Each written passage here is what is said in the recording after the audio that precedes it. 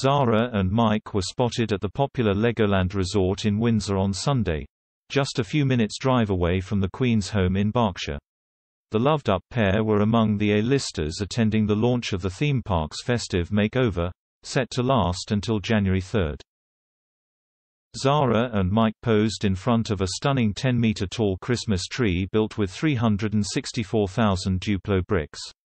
The Olympian cut a casual figure in a pair of blue jeans underneath a khaki coat, a gray knitted hat and a scarf. Her husband also wore a casual outfit, posing in blue jeans, a green jacket and a grey hat.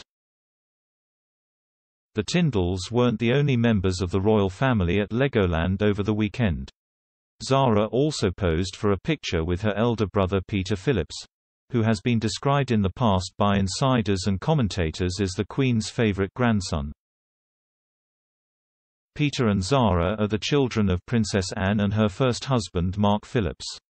Born in 1977, Peter is the Queen's eldest grandson, while Zara is Her Majesty's eldest granddaughter.